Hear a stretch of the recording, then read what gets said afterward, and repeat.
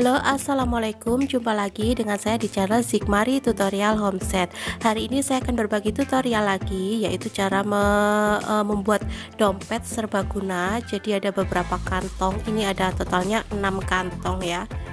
Nah seperti ini contohnya. Nah simak terus step by stepnya. Jangan di skip ya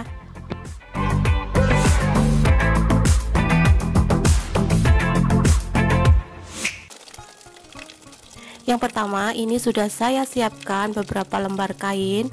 Yang ini untuk dasarannya yaitu bahan katun Saya pakai motif bunga dan polos. Ini yang untuk dasarannya saya menggunakan ukuran panjang 42 dengan lebarnya 22 cm Kemudian untuk kantongnya ini totalnya 9 Jadi setiap kantong saya pakai tiga kain. Ini yang satunya motif Satunya ini untuk bagian uh, lawannya dan ini untuk innernya untuk furingnya ini ukurannya sama ya ketiganya 22 kali 22 cm kemudian untuk resletingnya bebas mau disesuaikan warnanya juga bagus ya karena ini motifnya tiga jadi saya pakai tiga motif. Atau kalau mau netral juga pakai uh, polos putih aja nggak apa-apa uh, dua kali tiga jadi totalnya 6 resleting. Kemudian ini yang untuk dasarannya saya pakai busa ati atau busa yang untuk hijab. Jadi yang agak kaku ya. Ini untuk dasarannya. Kemudian untuk kantongnya saya pakai busa angin saja cukup. Yang ketebalannya 2 mili. Jadi tiga potong yang busa angin dan satu potongnya untuk busa ati kemudian yang untuk busa hati atau busa untuk hijab ini aku pakai untuk dasarannya. Jadi saya pasang seperti ini. Jadi agak tebel ya kalau untuk dompet atau tas itu bagus. Nah pertama bagian motifnya taruh di luar. Yang innernya yang polos di bagian bawah seperti ini disamakan ya bagian luar dan dalam. Oke setelah itu dikasih jarum pentul ya.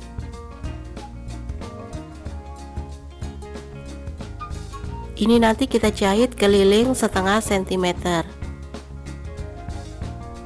Kemudian untuk kantongnya ini tiga ya totalnya masing-masing kita pasang-pasangkan. Saya akan contohkan satu pasang dulu. Pertama yang motif bunganya kita taruh di atas seperti ini. Kemudian yang innernya atau furingnya itu saya pakai yang polos Tosca pucat seperti ini ya. Jadi sesuai dengan motif bunganya. Kalian bisa pakai motif apa aja terserah bebas ya. Kita kasih jarum pentul lainnya juga kita pasang-pasangkan juga seperti ini.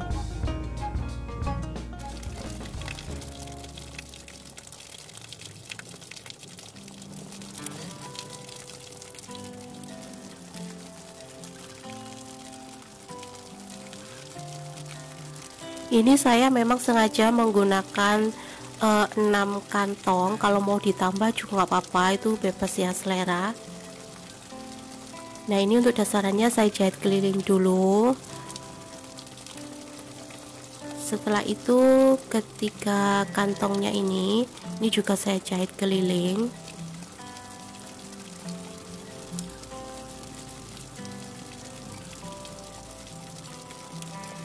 Setelah dijahit keliling bagian tengahnya mau dijahit garis-garis atau kotak-kotak atau zigzag melengkung-melengkung juga nggak apa-apa bebas ya sesuai selera kita aja.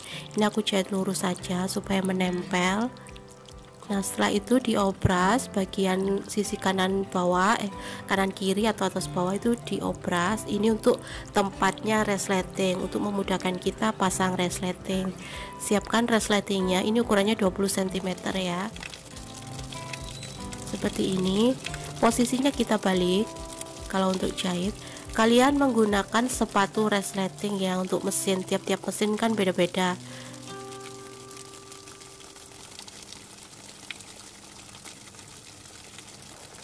Kita jahit resletingnya posisi terbalik seperti ini ya.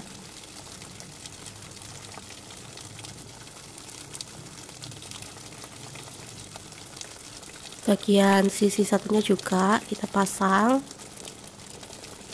jadi resletingnya itu ada di posisi atas dan bawah ya. Atau kanan kiri istilahnya. Oke setelah itu saya tindas supaya rapi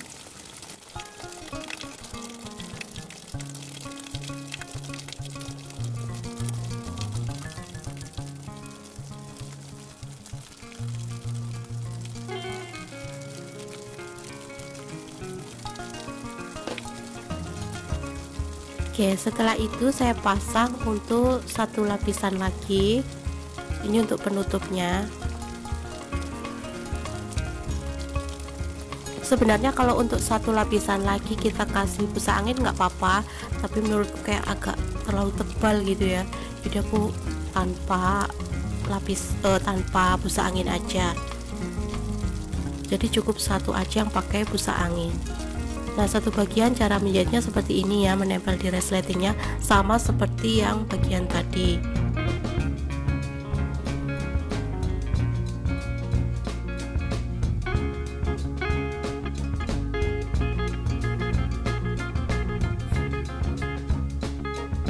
Setelah itu sama saya tindas juga.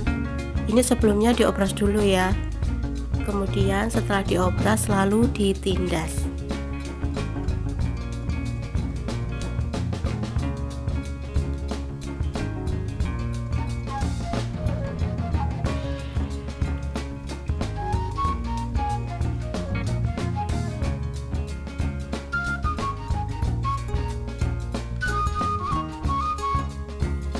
selesai ini coba kita tutup. Nanti hasilnya seperti ini. Jadi resletingnya atas bawah. Ini bagian depannya. Kemudian saya balik. Saya akan jahit yang bagian terbuka. Jadi yang bagian terbuka kanan kirinya kita tutup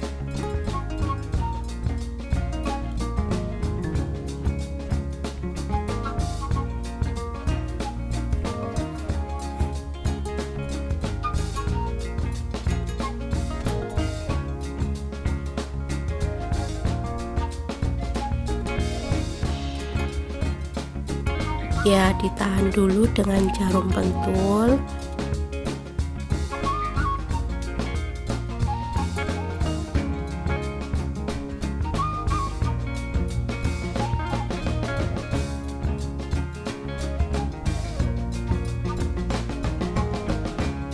Nah setelah itu kita jahit sisi kanan kiri 1 cm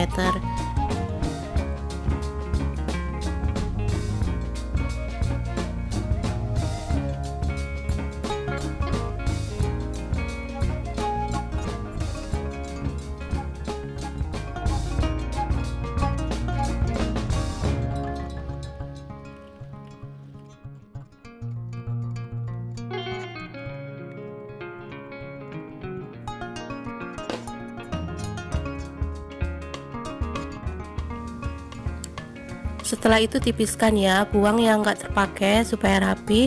Kemudian ini nanti e, diobras ya setelah dijahit dan digunting rapi ini harus diobras supaya rapi. Oke satu bagian selesai. Lalu ini sudah bisa digunakan ya kita balik.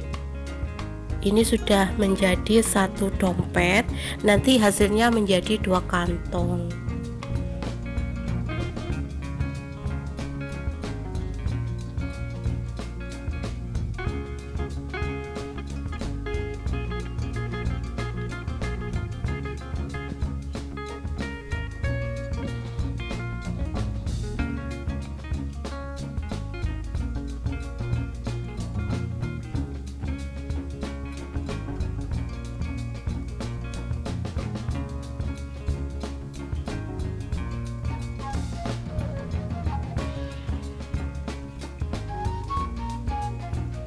yang dua bagian uh, dua kain lainnya tadi juga sama ya kita jahit seperti ini persis.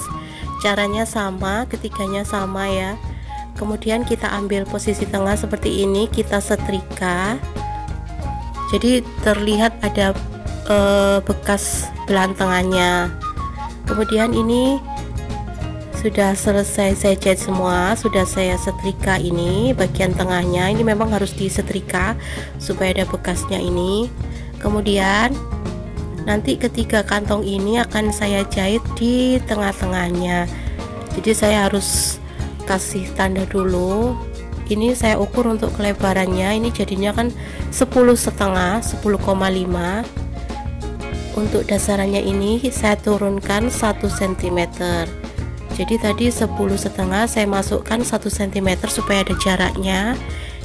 Jadi totalnya 11 setengah kita ambil 11 setengah. Ini nanti untuk jaraknya. Kemudian harus digaris lurus. Nah karena kantongnya ada tiga jadi kita kasih tanda tiga. Tiga titik dengan masing-masing jarak 1 cm kemudian yang satu cm lagi ini untuk batasnya lagi ya untuk jaraknya lagi. Ini yang jaraknya tadi saya garis lurus dulu kemudian untuk tempatnya kantong saya garis juga. Jadi totalnya ada tiga. Nah seperti ini. Jadi tiga ini untuk kantong. Nanti yang bagian tengah ini kita tempelkan di sini kita jahit ya masing-masing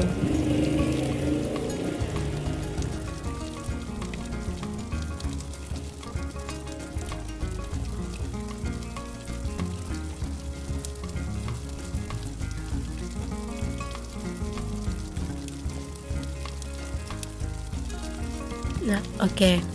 Kemudian untuk bagian setelah jarak, setelah kantongnya ada jarak lagi, ini kita samakan. Ini tadi sebelah setengah, itu posisinya harus sama di sini sebelah setengah.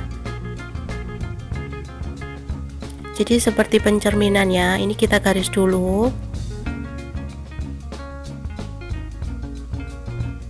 Kemudian ini totalnya 4 ini juga sama di sini juga 4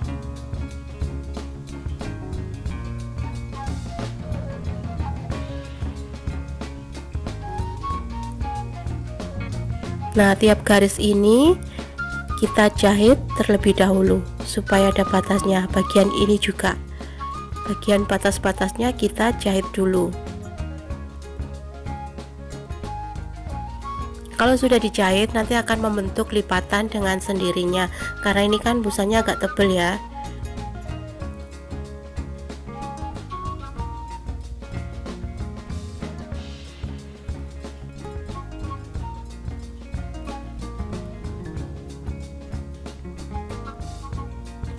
Oke setelah dijahit hasilnya seperti ini.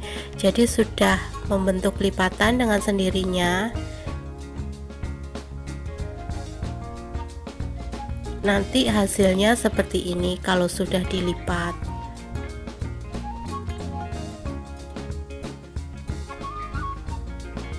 Kemudian yang saya akan jahit bispan dulu untuk kelilingnya saya pakai kain polos hijau yang sama dengan uh, pasangan dari kainnya kantong tadi ya. Ini saya akan pasang bispan dulu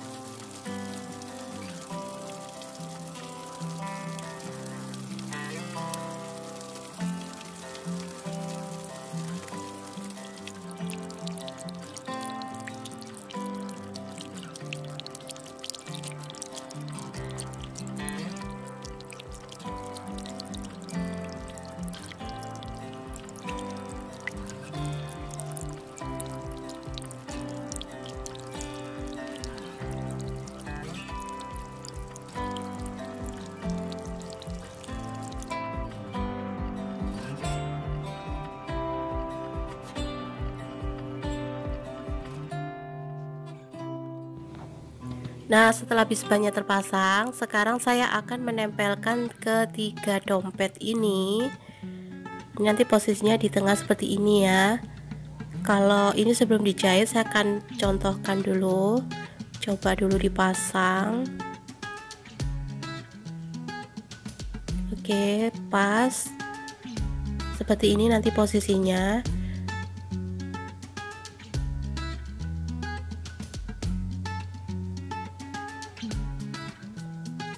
saya akan contohkan jahit e, bagian tengah dulu ya. Saya dahulukan yang tengah dulu. Batas lipatan ini kita luruskan dengan garis yang tengah tadi. Ini kita jahit di bagian tengah yang ini.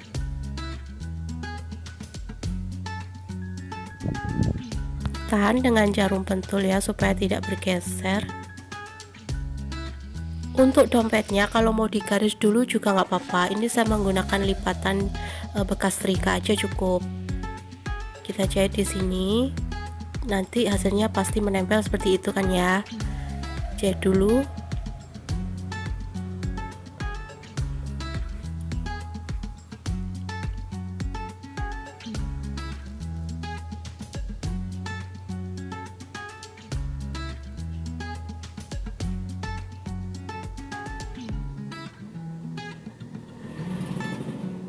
Nih, seperti ini. Kemudian bagian satunya juga saya jahit di sini. Kita luruskan, tahan dengan jarum pentul dan jahit seperti yang semula tadi yang pertama.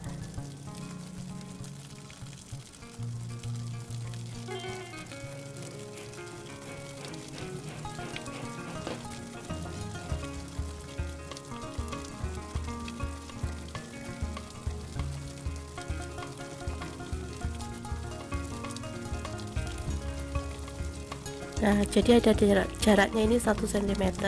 Kemudian kantong yang ketiga saya jahit juga di sini. Kita luruskan tahan dan tahan dengan jarum pentul dan jahit lurus.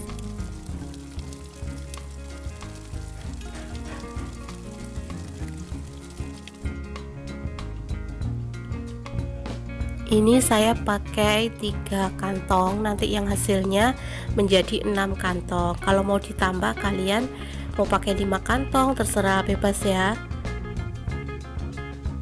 Ini nanti fungsinya bisa untuk uh, tempatnya uang ATM atau surat-surat terserah atau untuk HP juga bisa kosmetik terserah bebas. Nah ini hasilnya seperti ini kita coba dulu.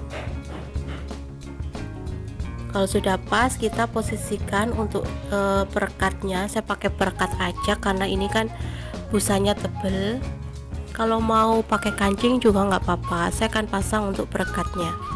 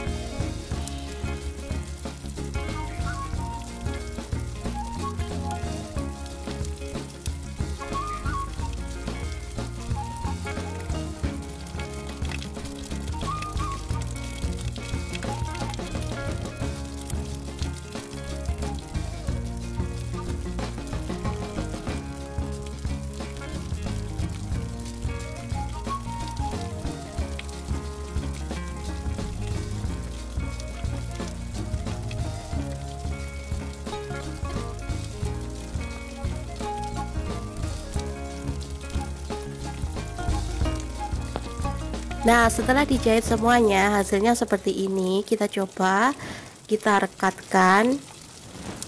Kalian bisa di rumah mencoba menggunakan motif lain sesuai selera kalian.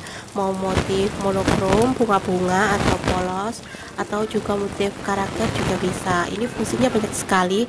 Bisa untuk tempat uh, isi make up atau HP atau uang atau dan lain sebagainya. Namanya juga dompet serbaguna Oke terima kasih buat kalian yang sudah menonton video saya. Jangan lupa di subscribe, like, komen, dan share ke media sosial yang kalian punya. Terima kasih, salam Sikmari Tutorial Homestead Assalamualaikum warahmatullahi wabarakatuh